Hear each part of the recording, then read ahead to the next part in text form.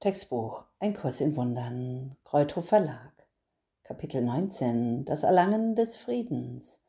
Nummer 4a Das erste Hindernis. Der Wunsch, ihn loszuwerden. Klein a. Die Anziehungskraft der Schuld. Seite 410 bis 412.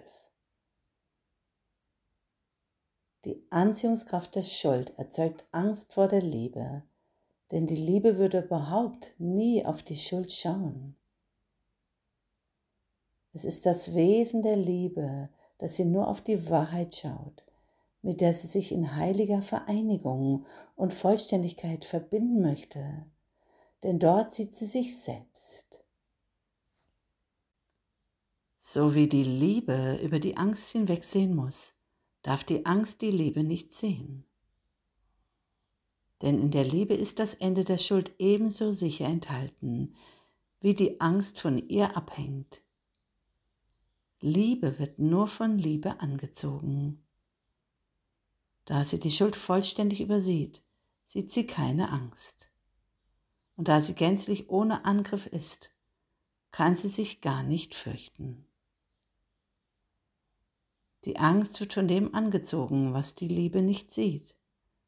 Und jede von beiden glaubt, dass das, worauf die andere schaut, nicht existiert. Die Angst schaut auf die Schuld mit genau der gleichen Hingabe, mit der die Liebe auf sich selber schaut. Beide haben Boten, die sie aussenden und die mit Botschaften zu ihnen wiederkehren, die in der Sprache geschrieben sind, in der sie sie hinauszugehen hießen. Der Liebe Boten werden sanft ausgesandt und kehren mit Botschaften von Liebe und Sanftheit wieder. Den Boten der Angst wird schroff befohlen, die Schuld ausfindig zu machen und jede Spur des Bösen und der Sünde, die sie finden können, hochzuhalten. Bei Todesstrafe keine davon zu verlieren und sie ihrem Herrn und Meister ehrerbietig vorzulegen.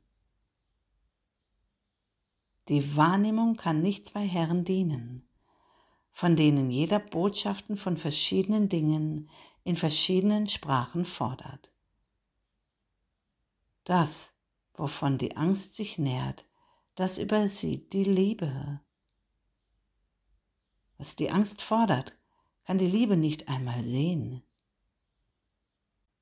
Die grimmige Anziehungskraft, welche die Schuld auf die Angst ausübt, fehlt der sanften Wahrnehmung der Liebe völlig. Worauf die Liebe schaut, ist für die Angst bedeutungslos und völlig unsichtbar. Beziehungen in dieser Welt sind die Folge dessen, wie die Welt gesehen wird. Das wiederum hängt davon ab, welches Gefühl angerufen wurde, seine Boten auszusenden, um sie zu betrachten und mit der Nachricht dessen zurückzukehren, was sie gesehen haben. Die Boten der Angst werden durch Angst und Schrecken abgerichtet, und sie erzittern, wenn ihr Meister sie aufruft, ihm zu dienen. Die Angst ist nämlich gnadenlos, sogar zu ihren Freunden.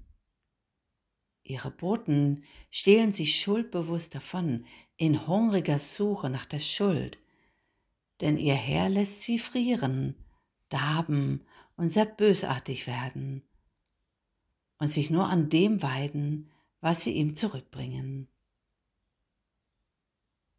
Auch nicht das kleinste Fünkchen Schuld entgeht ihren hungrigen Augen und in ihrer brutalen Suche nach der Sünde fallen sie über jedes Lebewesen her, das sie erblicken, und schleppen es kreischend zu ihrem Herrn, damit er es verschlinge. Sende nicht diese brutalen Boten in die Welt hinaus, um sich an ihr zu weiden und über die Wirklichkeit herzufallen. Denn sie werden dir Nachricht bringen von Haut und Fleisch und von Gebein. Man hat ihnen beigebracht, nach dem Verweslichen zu suchen und zurückzukehren mit dem Schlund voller verdorbener und verrotteter Dinge. Für sie sind solche Dinge schön, weil sie ihre brutalen Hungeranfälle zu lindern scheinen. Denn der Schmerz der Angst macht sie rasend, und sie möchten die Strafe durch den abwenden, der sie aussendet, indem sie ihm darbringen, was ihnen lieb und teuer ist. Der Heilige Geist hat dir die Boten der Liebe gegeben, damit du sie anstelle derjenigen aussendest, die du durch Angst abgerichtet hast. Sie sind ebenso begierig, dir wiederzubringen, was ihnen lieb und teuer ist, wie es die anderen sind. Und sendest du sie aus, werden sie nur das Schuldlose und das Schöne, das Sanfte und das Gütige sehen. Sie werden ebenso sorgfältig darauf achten, nicht einen kleinen Akt der Nächstenliebe, nicht eine winzige Äußerung der Vergebung, nicht einen schwachen Hauch der Liebe ihrer Aufmerksamkeit entgehen zu lassen. Und sie werden wiederkehren mit all den glücklichen Dingen, die sie gefunden haben, um sie liebevoll mit dir zu teilen. Fürchte sie nicht. Sie schenken dir Erlösung.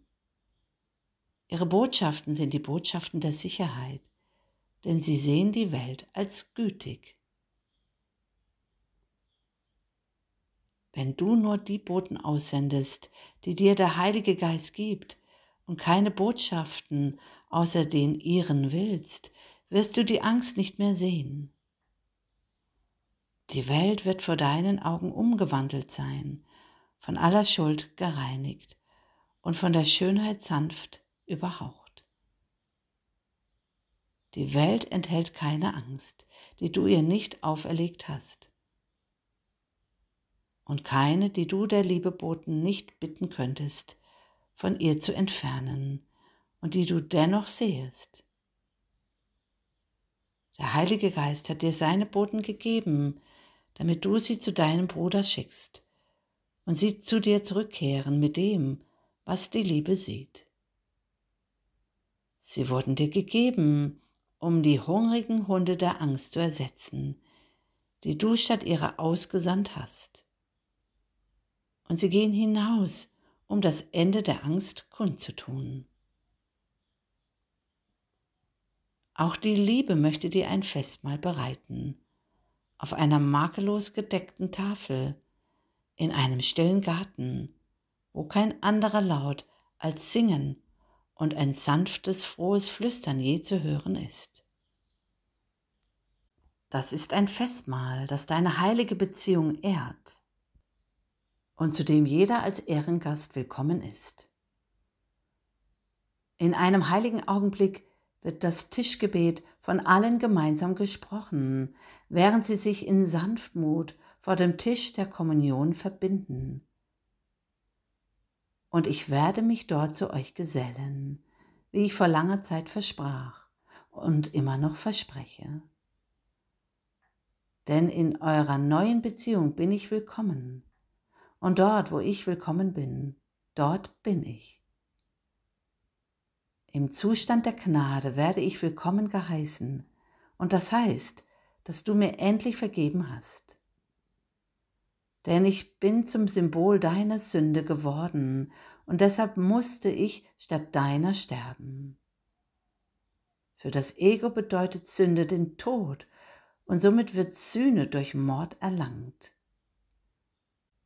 Die Erlösung wird als eine Art und Weise angesehen, bei der Gottes Sohn an deiner Stadt getötet wurde.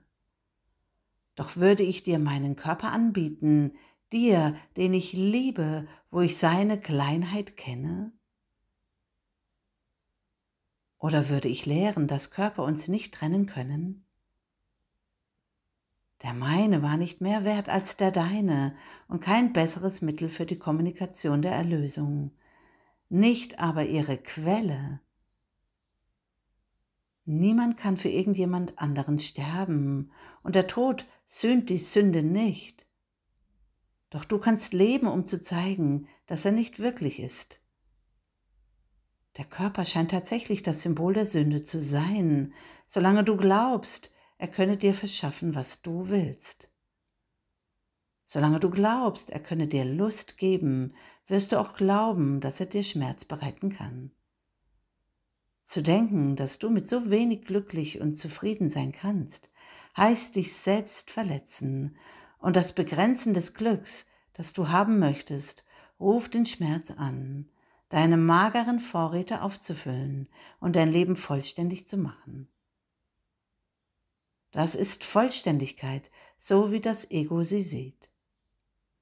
Denn Schuld schleicht sich dort ein, wo das Glück entfernt worden ist, und ersetzt es. Die Kommunion ist eine Art der Vollständigkeit, die über die Schuld hinausgeht, weil sie über den Körper hinausgeht.